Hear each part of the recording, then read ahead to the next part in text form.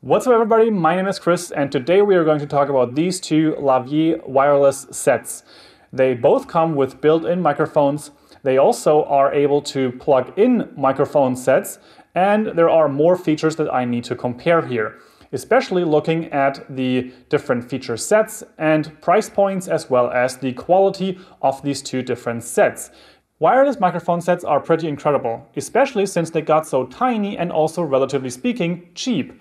Now, comparing that to about 10 years ago, where I had a YouTube channel with a friend of mine about baking, where we invested in Sennheiser wireless lavalier microphones, and there, one set cost around 600 US dollars. Now, today, you can get one set for under $200. However, it is important to know that, of course, you're still paying the price for the quality you get. But let's start at the very beginning. Lavier microphones overall are incredibly useful. They are tiny most of the time, you can tuck them away in clothing. You also have the ability to walk away from the camera and be also turned away from the camera. You can interview people with them. You can set things up very, very nicely. However, they don't necessarily provide the utmost sound quality or audio quality depending for your needs. Usually, bigger microphones with bigger membranes are also going to give you a better result in terms of the audio quality recorded. However, these microphones definitely have their place because they are so versatile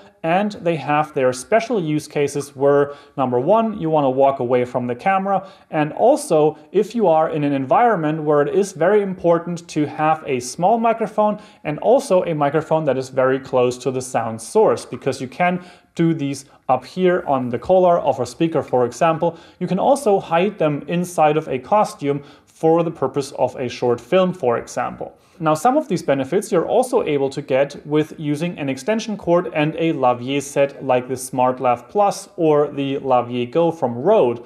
However, that heavily depends on how many people are moving around the set because they might trip over the cord and also on how much movement your person will have in front of the camera or how much you want to be moving. I'm specifically mentioning this if you want to start using a Lavier microphone, for example, for your YouTube creations in studio. You most certainly don't need a wireless connection unless you plan on moving a lot. Like for example, I mentioned in the video live streaming for yoga teachers or other fitness teachers, that is a very good use case for a Lavier microphone with a wireless connection because then you just don't have to worry about whether you are talking toward the camera or the microphone or not because the microphone just simply stays with you. For a use case like the one that I'm using right now, for example, in a kind of creator set with a standing person just talking head, it would be very easy to use a wired connection here with an extension cord and a Lavier microphone. This would have the great benefit that it does not need any battery and it is also significantly cheaper than purchasing a wireless connection set. However, in this video, I'm specifically talking about the wireless connections and the wireless devices and also the difference between the two in the sound comparison as well as what impact the wireless components have on the sound quality. So let's jump right in. First, an overview of what comes in the box as well as the raw feature sets of each individual kit. Then we're going to talk about the audio quality. Now starting with the Rode Wireless Go, you'll get one receiver and one transmitter. The receiver has a small display and it displays the connectivity as well as the battery status of both devices. It also has the capability of changing the gain in three steps and also shows a level on the audio that is coming through. So you know how loud it is and if it is actually receiving something. Then we also have the wireless connection status. Now on the transmitter on the other hand, you only get two LED lights which indicate the connectivity, the battery status and also when you're charging the device that also displays the charging. Now the transmitter actually has a built-in microphone, which is true for both of these kits. So you can just start using this as it is as a Lavier microphone by clipping it to your clothing of some sorts. This is very handy if you just want to use it this way. However, I personally don't necessarily love that because it is rather big if you want to clip this to a collar like so, for example. Yes, this is doable, but it's rather large. However, to have this complete, the Wireless Go also comes with a little windscreen that you can clip on top of here, and then you have a windscreen protected microphone and you can just start using it this way. There's even an adapter that you can kind of hold it with a longer stick for interview purposes, for example. Now talking about the windscreen, if you have gotten your Wireless Go a couple months, maybe years ago, please make sure to register it on the Rode website for warranty purposes because you might be eligible to get a replacement for the windscreen because they actually improved these to make them hold better on top of here so that they don't fall off as easily. And there is a free replacement service if you have the previous version. Now, if you just bought your Wireless Go or you are going to buy it now, maybe this is not the case. Maybe you already get the newest versions, but it's still worth registering your Rode Wireless Go on the Rode website to see if you're eligible or not. You'll find a link to the Rode website down below. Now the transmitter also features a mic port, kind of like the one you have on your camera, and you can plug in any kind of microphone there. This can be a Lavie Go, this can be any other Lavie that has this type of connection. It can also be a Rode VideoMic NTG, for example, if you want to have a wireless solution for that.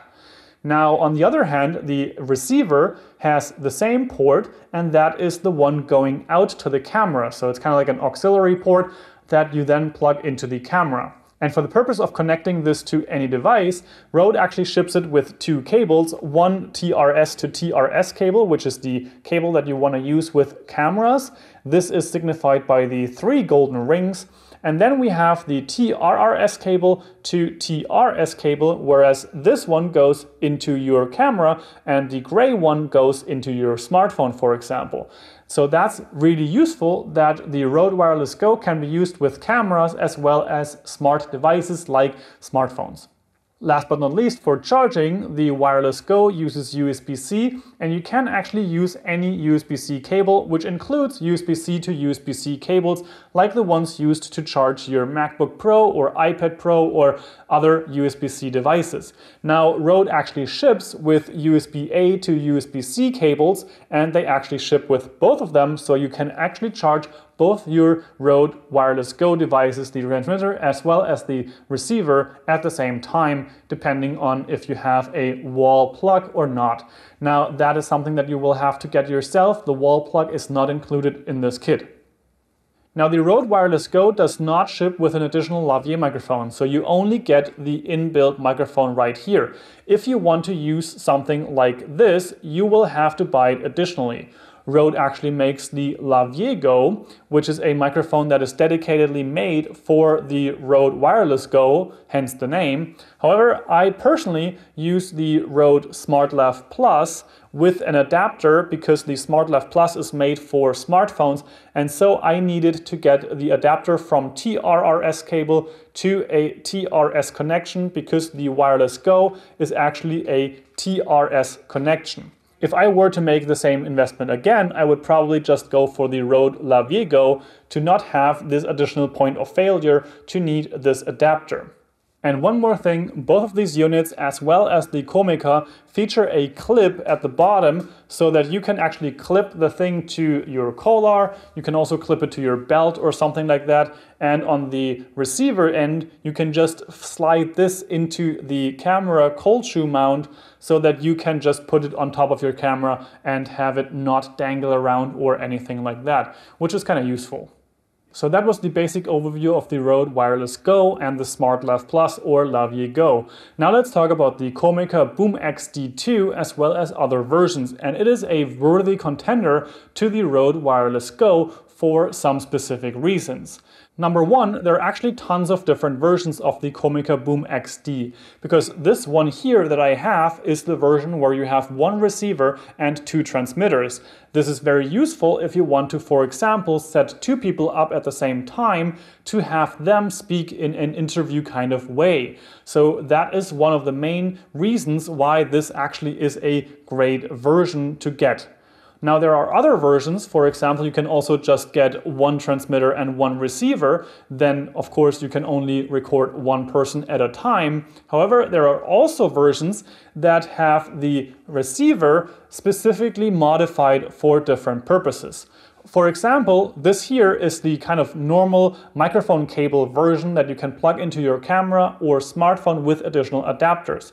Now there are other versions of the same thing that are connected via USB-C, micro USB, as well as lightning port. That is specifically interesting for people that only film with their smartphones. However, personally, I would never go for that because I would not want to have to throw away a whole microphone set just because I'm upgrading my phone, for example. So I personally would always go for the version that is just normal auxiliary cable, mic cable, whatever you want to call that, and just connect it with adapters because then I have the versatility to also use this with all kinds of other devices when I'm upgrading my gear. For example, if you start filming with your smartphone and you want to use something like this, you buy one of those other connector types and later you upgrade to a normal camera with a mic jack and you stop using this because you just simply can't use it anymore since it doesn't connect. So this here is the version that I would go for. Now what I have here is the BoomX-D2, which signifies that it has one receiver and two transmitters and other things in the box. Of course, you have the transmitters with their built-in microphones. You also get one receiver. Then you also have the Lavier microphones, which you can connect to your transmitters and also their respective wind fluffs. Then you also get two wind fluffs for the two transmitters so that you can use those in more windy environments. And you also get multiple connections to camera, smartphone, and so on. There's one cable, which is a TRS to TRRS cable, which connects the whole thing to a smartphone. Then you also have the TRS to TRS cable, which can connect everything to your camera. And if you have a camera that has specifically loud input, then you can also use the attenuated cable, which reduces the gain signal a little bit. And lastly, you also get one USB-A to USB-C charging cable, and you're supposed to charge three devices with one cable, which is kind of annoying, so you might want to get a couple more of those. Now this is very impressive, especially considering that the Rode Wireless Go only comes with one transmitter, one receiver, and no Lavier microphone. If you want to get the Rode Wireless Go with a Lavier microphone, that is around 325 US dollars. So the Rode Wireless Go for 200 and the Lavier Go for about 100 to 125. In this case, with the Comica BoomX-D2, for about $250, you actually get two transmitters, one receiver, and the Lavier microphones already in the package. If you only want one wireless connection, you can also get the version from Comica, which has one receiver, one transmitter, as well as the Lavier microphone, and that's about 190 US dollars. Now there's the option to build the Rode Wireless Go up to the same point of the Comica BoomX-D2. However, at that point you're spending about 650 US dollars because you need two wireless sets from Rode Wireless Go. You also need two microphones, the Lavier Go for example, and last but not least, you also will need a splitter for your microphone jack so that you can actually record left and right channel separate from each other for those two Lavier sets. But don't just make your decision on price because there are more differences to come.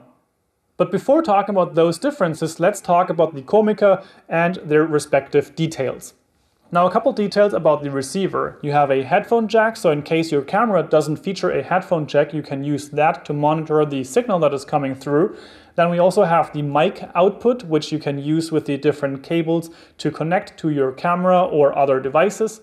Personally, for me, if I'm using it with the Canon EOS R, I will use the normal TRS to TRS connection, which is the black-black cable and not the black-orange cable, because the specific inbuilt camera audio interface actually expects a little bit of a louder signal. So that's the point of that. If you have a Panasonic or I think also Sony camera, you might want to use the attenuated cable for a less hot signal. Then moving on, we have a couple of buttons on the side. You have a reset knob, then you also have a mode switch and on off switch, which I'm gonna talk about later with the mode switching.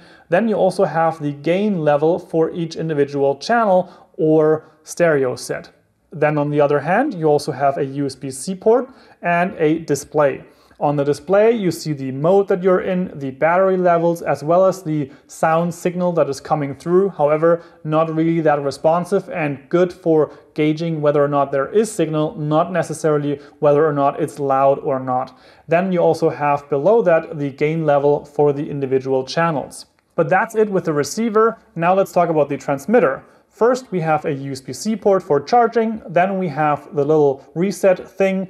On the other hand, there are buttons, the on-off switch, as well as for muting. And we have a pair button. Then we also have a built-in microphone, the mic jack, so that you can plug in a lavalier microphone, and a display, which displays you the connectivity, the microphone, whether or not it's muted or not, the battery status, and the gain level of this specific microphone. The transmitter also features the inbuilt microphone as well as a mic jack where you can plug in a lavalier and there's also this little clamp here that protects it from being pulled out. It's nice little addition.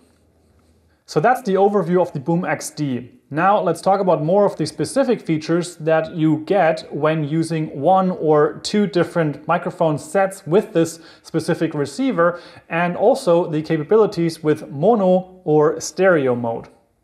First up, if you are using the set with one receiver and one transmitter, then you have the capability of using the mono mode. In this mode, the signal from the one transmitter gets basically put on both channels left and right and that way you have a just normal signal.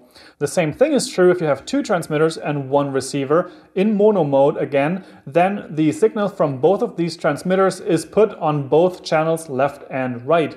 Now a great thing about this mode however is that you can actually change the gain on the left and right channel because with the buttons on the side of the receiver you can actually change the gain of each of the channels in this mono mode which means that the left and the right are recorded in different loudness. That is great because this way you can actually have a safety track recording of your two speakers or one person speaking and you can use that in the editing process that if the audio signal clipped at some point you can go back and use the second channel as your backup basically.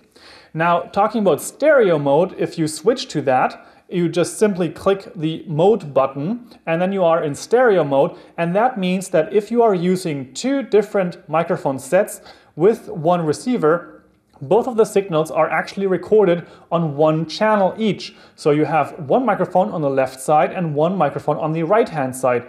This is amazing because if you are doing any kind of stereo recording or if you are doing interviews with two different people, then you actually have both of the microphones on separate channels and you can also decide later on how you want to use that. That is especially useful, especially for interview scenarios, for example, where one person is speaking louder than the other, or if you have one person making noises or sounds while the other person is speaking and you want to pull those out. That is possible when you are using the stereo mode on this specific set. Now a few more things about the BoomX-D2 that you might want to know about when using it. One thing is that if you put all three devices right next to each other, usually the connectivity between the B transmitter and the receiver gets lost a lot. Now this apparently is because the signals between these devices basically get mixed up way too much and it is no longer possible to kind of like decide which one is which and such things. As soon as you start moving them apart, however, and you put about 40, 50 centimeters between the receiver and the transmitters, the problem goes away. Now the distance between the two transmitters doesn't really mean anything. However, the distance between the two transmitters and the receiver Another thing is about charging. These devices are charged via USB-C. However, as I mentioned before, this only comes with one USB-A to USB-C charging cable to charge all three devices. So either you have more lying around or you have to charge one each after another.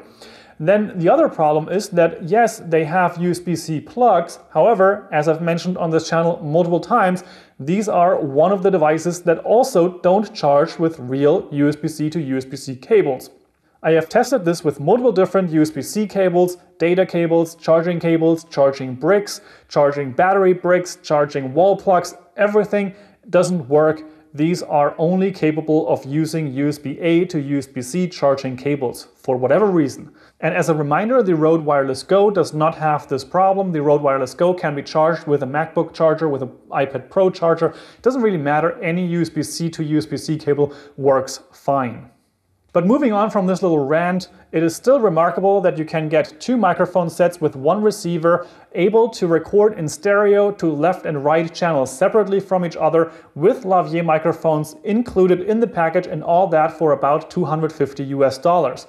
That is a remarkable package. However, let's check how it sounds and compares on that front as well. One thing up front, I have a video on my channel which is about an hour long and there are a ton of different microphone tests with foam windscreen, without foam windscreen, lavalier microphones, podcast microphone, XLR USB microphones, as well as the Rode VideoMic NTG and more. So if you want to check that out, I have the link in the description down below so that you can listen for yourself and also jump through with the chapter markers to see which microphone might be the best for your specific job, depending on what you want to do with it. And there you will hear how these different microphones compare to each other with this specific scenario when being right up close to the microphone as well as farther away and farther away from the camera as well. So check that out in the description below. Now, generally speaking, I'm not here to make a technical analysis of the audio signal. I just did a couple of test recordings and I'm gonna show you those here as well as in the aforementioned video where there are more tests and more comparisons. However, I want to kind of demonstrate how these different inbuilt microphones as well as lavalier microphones compare to each other so that you might be able to judge for yourself whether or not it's worth spending more money or if it may be the better deal to get the Comica with the two transmitters, one receiver and all that. So let's jump right in with the inbuilt microphones. Now, generally speaking, the inbuilt microphones aren't necessarily amazing. They both have that problem that they are really close to the whole body, so it means that you really have the whole thing hanging on your collar or wherever you want to use it. They're also not really that great in quality. However, if I were to make a judgment, I would say the Rode microphone sounds a little cleaner, a little nicer overall. The Comica microphone, on the other hand, has a huge problem with handling noise because of the microphone body transporting that handling very much to the microphone. Now here you can hear the comparison for yourself. This is the comparison between the inbuilt microphones of the Rode Wireless Go and the Comica BoomX-D. This is how it sounds in this type of room. This is the comparison between the inbuilt microphones of the Rode Wireless Go and the Comica BoomX-D.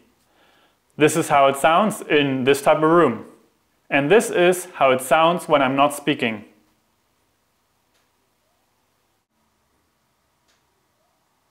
Now having heard that, the handling noise is one thing, the other thing is also the room noise or the room echo that is very much picked up by pretty much both of these microphones, but again, I would prefer the Rode Wireless Go. Now let's talk about the SmartLav as well as the Comica Lavalier microphone and how that changes the picture. Now keep in mind that the Comica actually ships with a lavalier for each transmitter. The Rode does not, so I had to pick out my own microphone for that. A couple years ago I actually picked up this Rode SmartLav Plus and also the adapter because I want to use it with my phone, sometimes with my camera. However, now, a couple years later, I would probably go for the Rode Lavalier Go, which is specifically made for the wireless Go it is probably updated. It has a TRS connection so that it does connect to your camera directly or the wireless Go, and you would have to buy an adapter if you were to want to use it with your smartphone.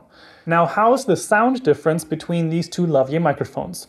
This is a direct comparison between the SmartLav Plus, comparing it to the Comica Lavier microphone, both connected at the same time so that we have the exact same comparison they are connected with a extension cord directly to the camera with no wireless component between them.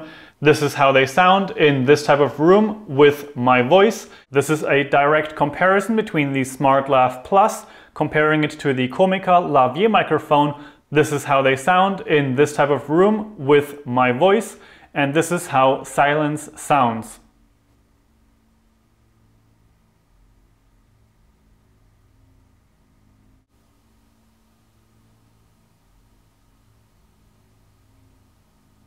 Now this comparison was specifically recorded without any wireless components in between, so that you can listen in on just the microphones directly connected to the camera and recording that. Now, in my opinion, the Rode sounds a little better compared to the Comica. The Rode also has a much nicer cable, which is thinner and also easier to form and hide away. It also is, in general, thinner and smaller in terms of the microphone itself. However, the audio signal coming out of the Comica is actually a little louder than with the SmartLav, which is also probably because of the microphone capsule being a little bigger. But at the end of the day, it really should sound better because with the Comica, you get the Lavier included in the whole package. With the SmartLav Plus or the Wireless Go, you will have to go out and buy the Lavier yourself, and that's around 70 to 125 US dollars or euros, depending on when you get it and which version you get, if you get the Rode SmartLav Plus or the Lavier Go.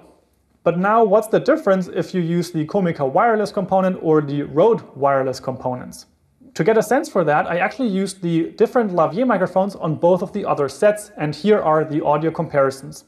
This is a comparison between the Rode SmartLav Plus and the Comica Lavier that ships with the box, both connected with their respective manufacturer's wireless devices.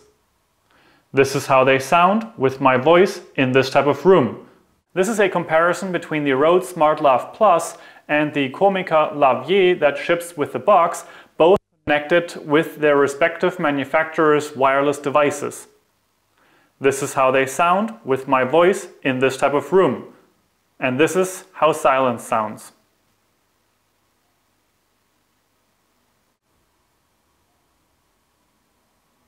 This is a comparison between the SmartLav Plus and the Comica Lavier microphone, respectively connected to the other competitor's wireless set.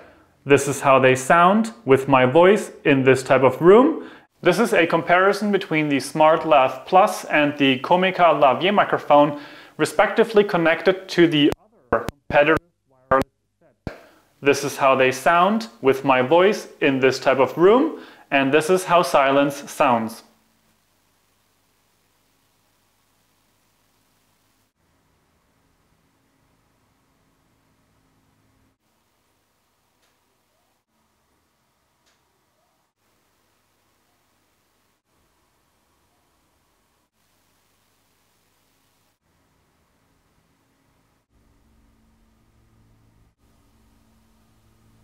Now it's decision time, and it is surely not an easy one considering all these feature, price, and sound differences. For me personally, if I were to know I want one wireless connection between camera and speaking person, I would go for the Rode Wireless Go with the Rode Lavier Go. Those two have a strong build quality, they have great sounding audio, and also the wireless connection has little noise floor.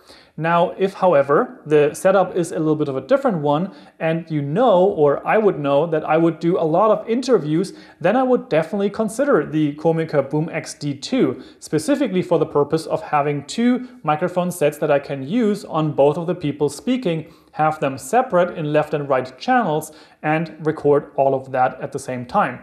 Additionally, it is also three times less expensive to go with the Comica BoomX-D2 in comparison to using two Rode Wireless Go with two Lavier Go and an additional audio splitter as well.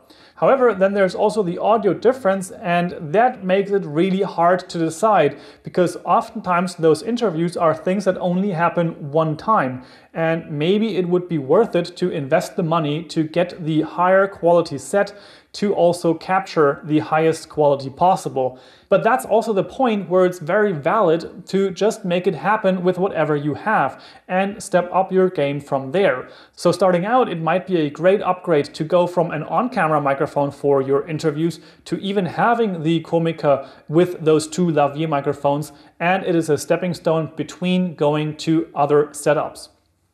Now, if you want to build the same feature with the Rode Wireless Go, you have to go with two Rode Wireless Go sets, also two Lavier Go's from Rode or other microphones if you choose to get other ones, and also a adapter which can then connect to the camera so that you have the left and right channel differentiated. Now that kind of kit would cost around 650 US dollars and it would give you the same features as the one kit from Comica for about 250. Now Rode actually released a couple products on this lineup that help you achieve that stereo set. Basically they released a little bit of a plate that makes your cold shoe mount on top of your camera into two cold shoe mounts so that you have the ability to put two microphones there, maybe one wireless go and one video mic NTG, but they also have shown the possibility to record with two Lavie microphones, so two wireless go sets, and they also now sell a cable which connects to the camera and then you plug in two different microphones on either end and then you have that separation between left and right channel. However, I personally would say that those probably are more expensive than if you just go to Amazon and buy one of those cables yourself, like the one that I have here, which is around $5 or so and gets the job done. Closing up, this was another massive microphone comparison and there are actually a couple more coming as well as already on my channel. There's the one big test comparison video and then there are also more in-depth videos about different types of microphones. So if you want to check those out, those are also linked in the description down below. Now if you have any questions or thoughts about this comparison here, please leave those in the comment section down below as well as your questions because then I can answer them there or I can make a video specifically about that whatever you want to know. Overall, these two kits are really incredible. They're tiny, they're USB rechargeable, they sound great, and relatively speaking, they are also cheap. Comparing that to the Sennheiser kit that I had about 10 years ago, that was about 600 euros per kit, and now you get the same thing for half and even less. Now the decision is in your hands and I hope this video was helpful for you. If it was, please give it a like so that other people can find this as well. It helps out a tremendous amount with the YouTube algorithm. Also subscribe to this channel for more videos like this as well as on other topics and I will see you in the next one. Ciao ciao!